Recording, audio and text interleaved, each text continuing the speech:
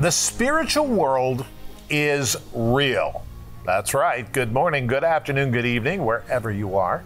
My name is Rod Hembree. And I'm Janice. And this is Bible Discovery TV, where we are discovering the Bible from Genesis 1 to Revelation 22 every single day. Today we're in Matthew. Corie, what's going on? I'm going to be taking a look at the scribes and the Pharisees, who are mentioned a lot in the Gospels and sometimes overly demonized in Christian circles. We're going to take a look at that in a little bit. All right, look forward to finding out about that. Janice, mm-hmm. what'd you do? Hear him. Okay, hear him. Very good. Ryan, you're up. Well, here's a question for us Is the prophet Elijah one of the coming two witnesses before Jesus Christ's second coming? Well, this is the question we're going to attempt to answer a little bit later on. All right, let's get into the Bible and listen to God as He begins to speak to us from His Word.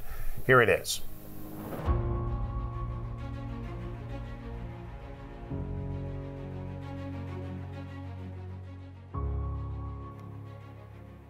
Matthew 17, verses 1 through 9.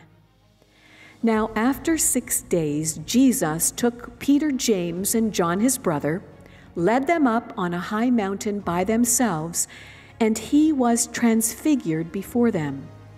His face shone like the sun, and his clothes became as white as the light. And behold, Moses and Elijah appeared to them, talking with him. Then Peter answered and said to Jesus, Lord, it is good for us to be here. If you wish, let us make here three tabernacles one for you, one for Moses, and one for Elijah. While he was still speaking, behold, a bright cloud overshadowed them. And suddenly a voice came out of the cloud saying, This is my beloved Son, in whom I am well pleased. Hear him. And when the disciples heard it, they fell on their faces and were greatly afraid. But Jesus came and touched them and said, Arise and do not be afraid. When they had lifted up their eyes, they saw no one but Jesus only.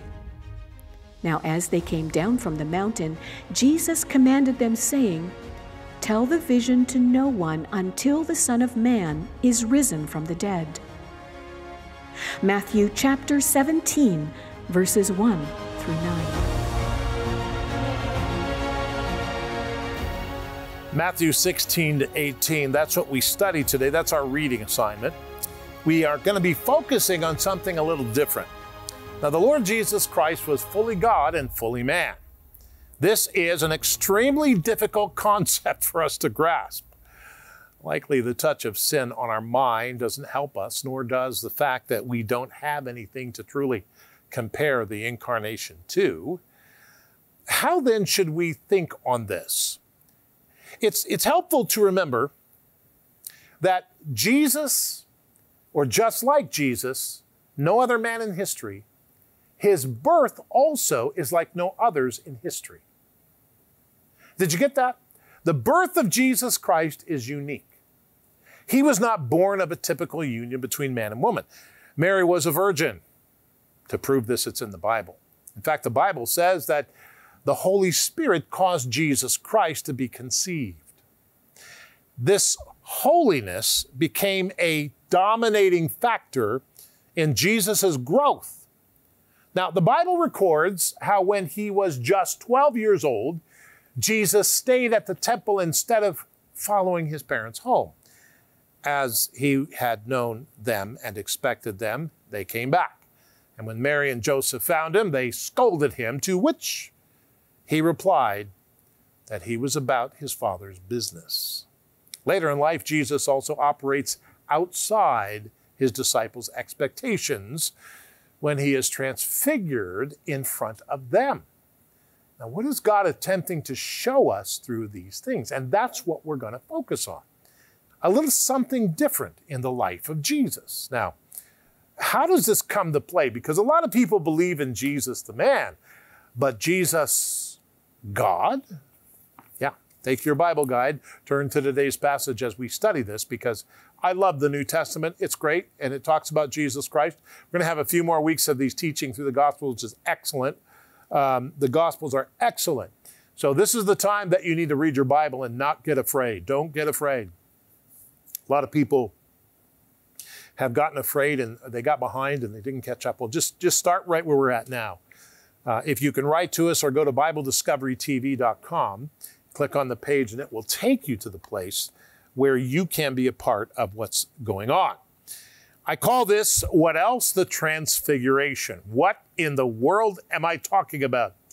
We're talking about Matthew 17, verses 1 through 9. Father, Jesus Christ, Holy Spirit, one God in three persons. Help us to understand what this is about. Help us to hear you. Help us to know you. Help us to learn what you did and why you did it. In Jesus' wonderful name, and we all said together, Amen. Now let's look at this because it's really important. The Bible says, after six days, Jesus took Peter, James, and John, the three disciples, his brother, led them up on a high mountain by themselves. He's got the three of them up there, and he was transfigured before them. What does that mean? Well, here's what it means His face shone like the sun, S U N. Like the sun? And his clothes became as white as the light, L I G H T. The light? You see, the body of Jesus Christ and the things clothing him was changed. Now, humanness is a part of our physical, but the corruptible cannot inherit the incorruptible. We will be changed in eternity. What I'm trying to say is that Jesus Christ shows us that in the midst of who he is, there's something different about him holiness. His holiness. He is God, fully God, and He is fully man. How is that possible? I don't know. I can't think of an answer, but I can tell you it's possible. There's a lot of things I can't think of an answer for, but I know it's possible and I know it happens. Now, it's very important to remember that. This is what the Bible says. Now, let's go back to the Bible and let's learn some more stuff. Matthew chapter 17, verse 3. Here is what the Bible says. And behold, or take note, Moses and Elijah appeared to them talking with him. What? You got to be kidding me. What I'm saying is, the Bible tells us the spiritual world is real.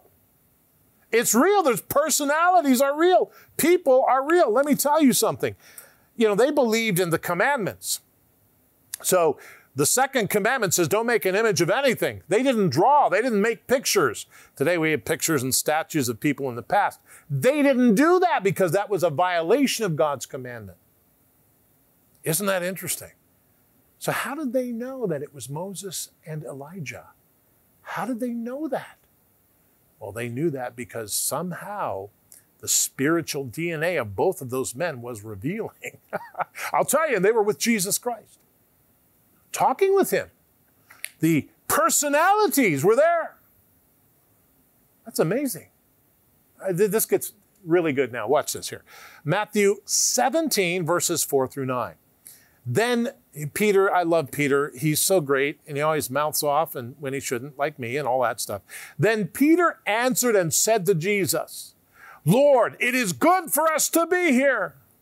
If you wish, let us make three tabernacles one for you, one for Moses, and one for Elijah. Well, while he was still speaking, behold, a bright cloud overshadowed them. And suddenly a voice came out of the cloud, and the voice said, This is my beloved Son, in whom I am well pleased. Hear him. And when the disciples heard it, what did they do? They fell on their faces and were greatly afraid. They had experienced what Moses had experienced. Verse 7 But Jesus came, Jesus, Jesus came and touched them, and he said, Arise and do not be afraid. When they had lifted up their eyes, they saw no one but Jesus only. Now, as they came down from the mountain, Jesus commanded them, saying to them, Tell the vision to no one until the Son of Man is risen from the dead. That's how we know God rose from the dead. You see, here's the point Jesus Christ paid the cost of sin. He paid the cost of your sin, and He paid the cost of my sin. The Lord Jesus Christ is God. Only God knows the price of sin. We don't know how much it costs because we don't understand what it's like. When we were born, we were born under sin, even though we had provision from God until we made decisions ourselves. But God Himself knows the cost of sin. God Himself paid the price of sin through Jesus Christ. That's what we're studying. The Lord Jesus Christ came, He lived, He was crucified. We'll get into that. Then He rose from the dead and He became alive again. And now He's glorified, sitting at the right hand of God, sent His Holy Spirit, so that if we believe in Him and we say, Jesus Christ, forgive me of my sin, help me today. We pray. Just pray out loud and say, Jesus Christ, forgive me of my sin. Help me today. I need you so desperately. Would you live in my life? To be alive in my life? I need you now. And then he'll come in. And what Jesus Christ will do is give you his Holy Spirit. And when he gives you his Holy Spirit, your life is going to totally change, slowly but surely. God will begin to work with you. God will begin to become alive in you. And you will begin to witness the change that God has made to you.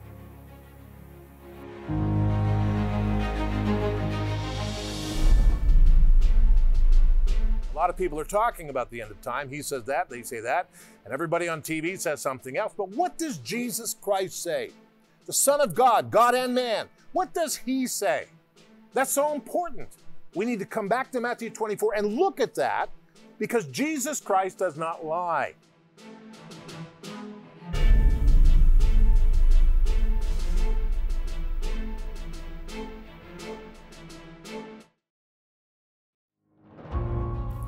Today, we are continuing to study through the Gospel of Matthew, and I want to take some time and focus in on uh, a group of people that's mentioned often in the Gospels, not just here in Matthew, but in uh, Mark, Luke, and John as well the scribes and the Pharisees. Now, in a really simplistic understanding, almost a childlike understanding of the scriptures, it's really easy to kind of see Jesus and the disciples as the good guys, and the scribes and the Pharisees and some of those other groups like the Sadducees and the Zealots as the bad guys. But this would be a mischaracterization of what's actually going on in the Gospels. The truth, much like real life, is much more complicated than that. The scribes and the Pharisees were religious leaders. They were devout uh, Jews in the time of Jesus, and Jesus himself was a devout Jew. And in fact, the devoutness, the, the dedicatedness of the scribes and the Pharisees to God and to the law of God, uh, found in the Old Testament of the Bible, is actually what brought them to discuss and disagree, uh, and in some cases, agree with Jesus as well. So let's take a look, first of all, at some of their defining characteristics. If you were a scribe and a Pharisee in the time period of Jesus, what made you different than the Sadducees, for example, or a regular person just going about their lives? Take a look. In the New Testament Gospels, it's common to read references to the scribes and Pharisees. These two groups held a prominent place within first century Judaism. It's commonly acknowledged that the term scribe generally refers to people who are tasked with writing down words and histories. Within Judaism, this meant specifically the copying of Hebrew scriptures. The scribes' resulting familiarity with the scriptures led many to become well respected as experts and teachers in the law of Moses. In 1st century AD Judaism, scribes could come from any of the religious denominations, but it's frequently assumed that most came from the sect of the Pharisees. The Pharisees became a recognizable group during the time between the events of the Old and New Testaments. The term may mean separatist, as they were opposed to the king priest designation claimed by the Hasmonean dynasty. Their rival religious faction in this respect became the Sadducees, who had embraced the king priest concept. Pharisees were generally not from the nobility or wealthier classes of people. Their top priority was applying the scriptures to the everyday life of the everyday Jew. This took the shape of teachings or rules about the laws of Moses, how to follow the Mosaic law in contemporary life. Their knowledge, paired with their normal stations in life and their concern for the everyday man, made Pharisees very popular influencers with the masses. Alternatively, they were treated with suspicion and fear by some of the much smaller upper class. Pharisees seem to have been anti Roman in that they wanted political and religious freedom without mixing pagan culture into Judaism, but they were also usually non violent, preaching instead that as the masses turned to God, He would provide deliverance. Their distinguishing religious beliefs included their insistence on the immortality of the soul, the existence of angels and demons, a combination of free will choice and God's predestination, future rewards and punishments in the afterlife, and a physical bodily resurrection.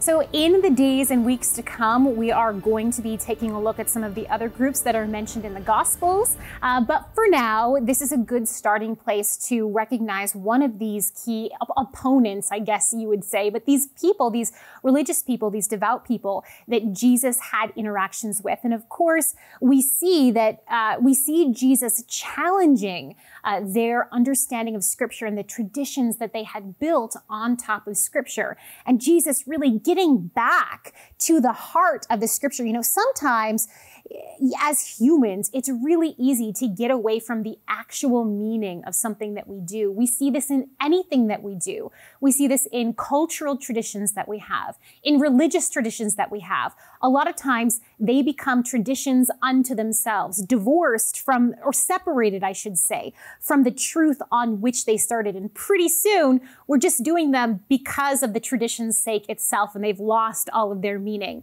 A lot of that was going on, and we read that in the Gospels. And Jesus, one of Jesus's missions was to bring everyone back to the heart, the core truth uh, of the Word of God. Ryan, what do you have for us today? Thanks, Corie. Well, today in our assigned reading of Matthew chapters 16 to 18, we read of the famous transfiguration of Jesus Christ. And it's at this point that Moses and Elijah actually show up on the mountain with Jesus and Peter, James, and John. And it's because of Moses and Elijah's appearance here that many believe that they will be the two witnesses that will come before Jesus Christ's second coming. Another name often mentioned in connection with these two witnesses is, of course, Enoch. But what does the Bible tell us about these two coming witnesses? Let's study.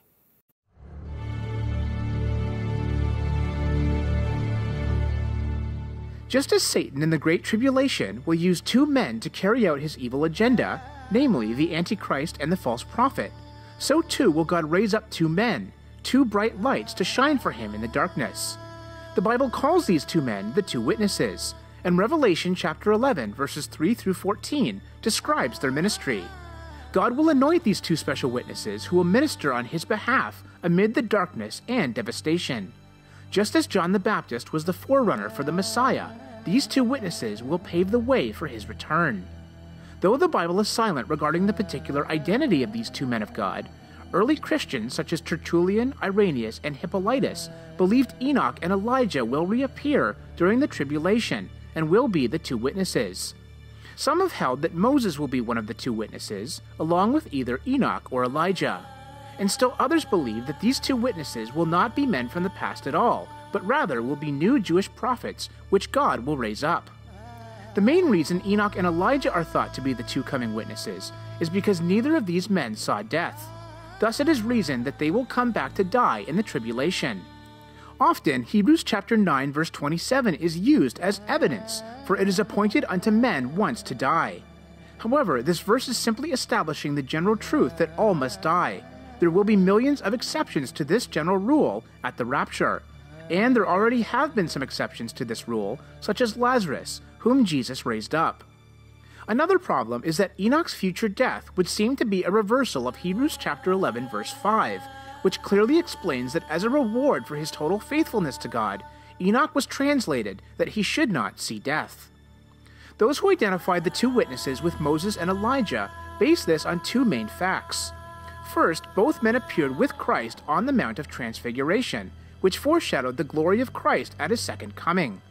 And second, they are mentioned in tandem in the final chapter of the Old Testament.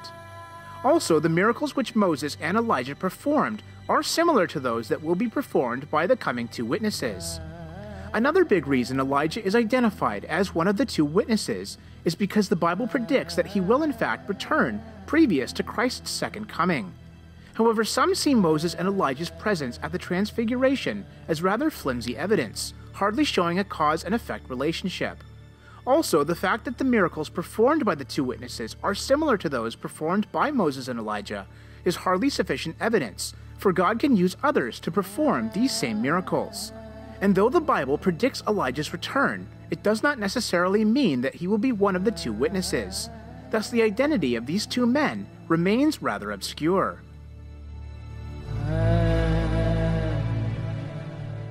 So there you go. We really can't be sure who the coming two witnesses will be. But what we can be sure of is that God will send them to prepare the way for his second coming, just as he sent John the Baptist to prepare the way for his first coming. And that is absolutely incredible. All right, so what we're going to say here is we're going to say, okay, uh, we're going to give you the the answer to the question, who are the two witnesses? Okay, who are the two witnesses in Revelation? And here's the answer. Are you ready for it? I guarantee Sure. you. Here's the answer. We don't know. We don't Yeah, know. exactly. We have no idea. Nope. I mean, there are people that they, they preach sermons on this. You know, well, it's this guy and that guy and Moses. And, you know, We can speculate. we can and we do, but only God knows, and He didn't tell us in His Word. Mm-hmm. We'll find we- out eventually. That's right. Well, It's not important for us to that. know right Find now. out eventually. Yeah, exactly. And uh, so, but we will will learn and we'll know from heaven, and that's what I believe. So it's going to be very interesting how that all plays out. And I believe that we're in the birth pangs. This is what I personally, uh, Rod Hembree, what I personally believe. We're in the birth pangs of this whole thing. So it's very, very interesting. We'll find out. and we'll find out. We'll find out if we are. Okay, Janice, you're up. All right. Well, I titled this today Hear Him. And the subtitle is His Plans, Not Our Plans. And the note to myself was I love Peter. I love this disciple. and I think a lot of us can relate to him. He wears his emotion on his sleeve. He's ready to get in there and defend and, and do all these things. And, and we see this magnificent scene where Jesus takes Peter, James and John, um, his brother, uh, John, the brother of James, and he takes them up to the high mountain, and Jesus is transfigured before them. And Peter doesn't know how to respond. So he just makes this statement. Let's read it. It's uh, 17, verses 4 and 5. Then Peter answered and said to Jesus, Lord, it is good for us to be here. It's good for us to be here. If you wish, let us make here three tabernacles one for you, one for Moses, and one for Elijah. Because all of a sudden, before them, there's Jesus and he's being transfigured before them. His face is shining, his clothes are shining, and Moses and Elijah are there talking to him. Imagine. So Peter didn't know what to do. So he's talking and he's declaring this, and then it says in verse 5 while he was still speaking. So while Peter is talking about we should do this and we should do this and we should do that, Because he's excited. He's excited and probably a little bit scared. While he was still speaking, behold, a bright cloud overshadowed them, and suddenly a voice came out of the cloud saying, This is my beloved Son, in whom I am well pleased. Hear him. Hear him. It's like Peter's in the middle of this great announcement about we should do this and we should do that, and here's what the good plan is, and this is good for us to be here. and I get like that, don't I? I'm kind of like that right now. I start to talk, and I'm hearing myself talking, and sometimes the plans are good sometimes not so good. Sometimes it just comes out of excitement or fear or whatever. And God interrupts him and says, mm-hmm. Listen to my son. Hear him. So, so oftentimes we can have our plans, we can have our ideas, and they can seem like the best plans ever.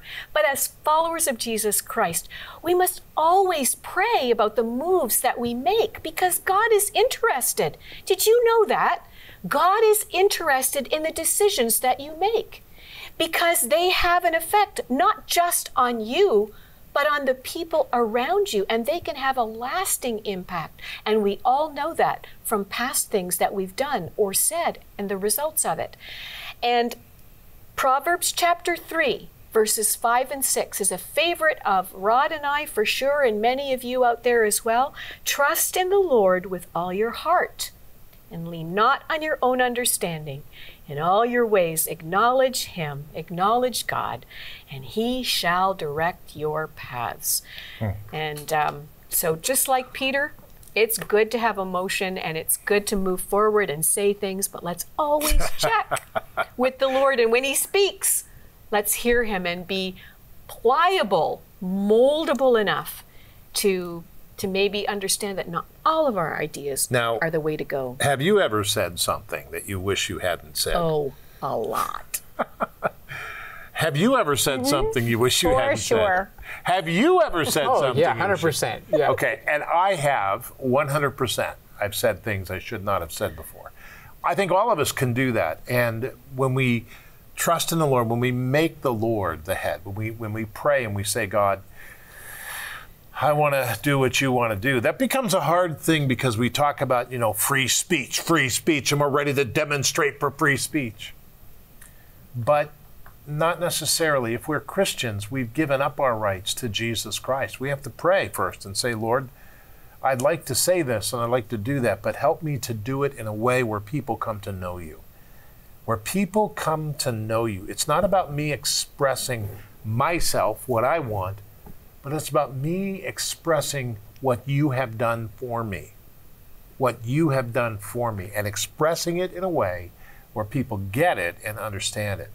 So I think that's something that's very important, mm-hmm. Janice, and uh, that's something. And he may he may ask you to speak something that would be very difficult, or do something that would be Jeremiah. very difficult.